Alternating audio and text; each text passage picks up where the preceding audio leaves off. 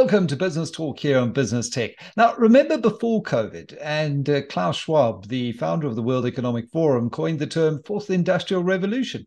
Then we had President Cyril Ramaphosa establishing a commission on 4IR back in 2019, and that was really tasked to identify the relevant policies and strategies and action plans that the government needed to take to unlock the, the broad promise of the fourth industrial revolution in technology. But then COVID happened, and uh, pretty much overnight, all of those plans were upended and, in fact, stress tested because we were thrown into this future, which was generated by Zoom and Teams and the ability to work from home, and really the 4IR concept became tangible to almost everyone overnight. Now, someone who has seen this era evolve from the front row seats during her career is Liziwe Maseko, who's an executive for digital software engineering at BCX. Liziwe, welcome to the show. Firstly, how did you get into uh, ICT, which is still a fairly male dominated industry?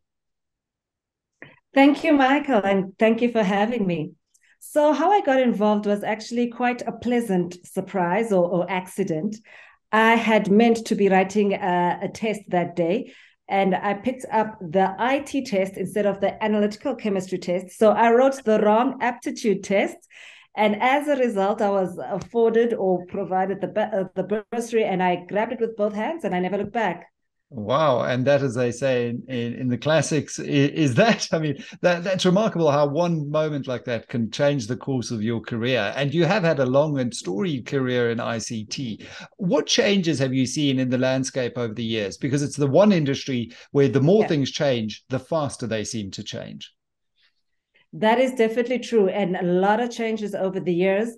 Well, one I must say is it's become easier to access technology than when I first started. I always make the example of a cell phone, where it's so much more than just the voice communication tool that it started as, right? Mm. Um, another exciting change for me, particularly, is the participation of women. As you've said, um, it is still male dominated, but definitely far more women participating in the field than when I started. Another change is the accelerated rate at which we throw out or put out solutions. Gone are the days when business needs to give used to give IT a, a directive we go away for a few months and say, business, here's what we've done for you. No. How we build software, particularly and our solutions these days, is in a collaborative manner with uh, with business, and it, it's incremental. So gone are the days where you where IT would go into a black hole and emerge once once we were ready. I'm so pleased to hear that. I've got two young daughters, aged five and eight.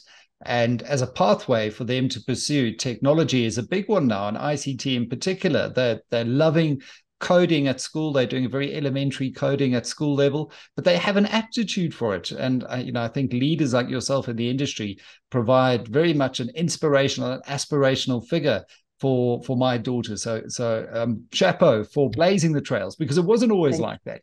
Now, when we talk about 4IR, it, it became a bit of a buzzword before COVID, mm. as I said in my introduction, and I think it did make it made the concept a lot more tangible. Who would have thought that we mm. now on our phones get hold of a, a, retailer and we call up our groceries while we can have business meetings uh, in our lounges or offices? What does 4IR mean for South Africa? So, the promise of 4IR for South Africa lies in its ability to accelerate economic growth, right? So, with the widespread technologies that it now introduces us to us, it gives us an opportunity to solve, you know, our many nations' challenges.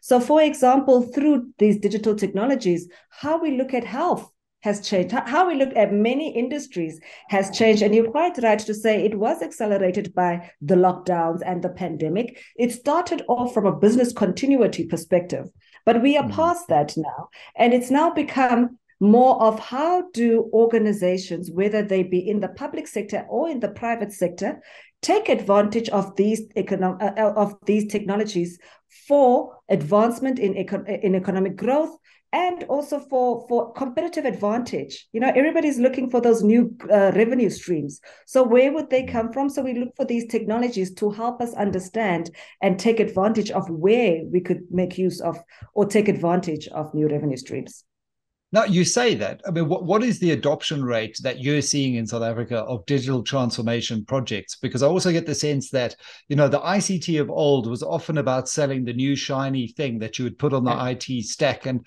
but potentially yeah. oversold and underdelivered. You said the big mm-hmm. evolution that you've seen is the fact that, you know, ICT practitioners are now really coming at this from a solutions lens to say, well, let's understand the business problem first before we even put any technology layer on top of that. So what, what are you seeing seeing in terms of adoption rates? Adoption rate is definitely on the rise, not to say that we are without our challenges. Our mm. challenges are, are there, and specifically to us as a nation, right? Um, digital skills uh, is still um, our digital literacy. We still need to look at that for us to be able to participate much stronger in, in the digital space. So that remains a challenge for us. Nevertheless, though, the, the um, for example, if you look at now how we do our e-filing for SARS, right? Uh, highly unlikely that you're going to go queue up at SARS unless you absolutely, absolutely have to. you know, so it's it's absolutely on the rise. How we get our groceries in the example that we made. So digital transformations are on the rise, but we we are impeded. We do have a digital gap, and we are also our digital skills are not quite, or let me say, digital literacy is not yeah. quite where um, you know, it could be for us to to maximize. Yeah. And I think that digital literacy goes through the organization. So it's from your very, you know, entry level employee all the way up to the C suite everyone needs to have some uh, base form of digital literacy. I don't think everyone needs to be able to speak like the CTO, but you need to understand yeah. the basics and cloud and dashboards and how things are converging to to empower you. These are the new business tools. So, given those challenges, how do we overcome them? I believe it starts with education, right? Mm it's going to and also closer collaboration between specific stakeholders. So there are stakeholders in the private sector or, or participants in the field such as myself. There's also uh, participants or stakeholders in the education sector. But more importantly we need to come closer to investment communities Unfortunately, we live in an age of competing priorities. The business of the day, you know, we need to make sure that we can look five years or, or 10 years ahead to say, what do we need at that point in time to ensure that our businesses are still around, our organizations are still relevant, and without addressing the skills gap, unfortunately, we're going to have a hard time. But it's not mm. just the skills, right? So the skills are one thing.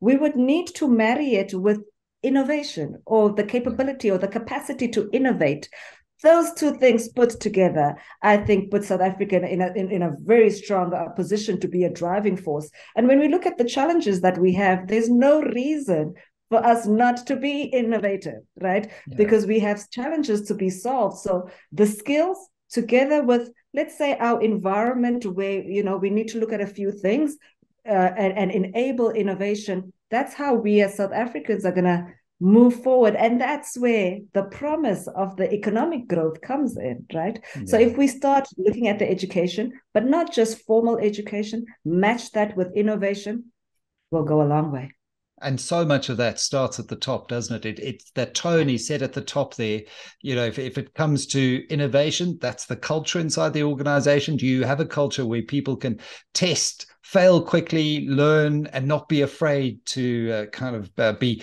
rapped over the knuckles. And also that that skills base. It's again, if you're a leader strategically, you've got to do an audit through a business, don't you, just to find mm. out what your base mm. level is, and mm. then move your mm. organization forward incrementally. The bottom line for me, and and it's a really hopeful message, is that there's a lot of opportunity, isn't there, uh, if you look at the opportunity in 4IR, let's strip away the buzzword. We have all of these challenges, be it access to education education, healthcare, mm. government mm. e services. On the other mm. side of that challenge lies an opportunity. Yeah, exactly. Exactly. And that's an opportunity that we have to take advantage of. So these technologies, now, whether we be talking about artificial intelligence, cloud adoption, 3D printing, they solve problems. at the at the end of it, you use a piece of technology to solve a problem. And that's where the promise is. Fantastic. Thank you very much. We're going to leave it there. BCX's Executive for Digital Software and Engineering, uh, Liziwe Maseko, sharing the promise of the fourth industrial revolution here on Business Talk. Uh, take care, Liziwe. Thank you so much.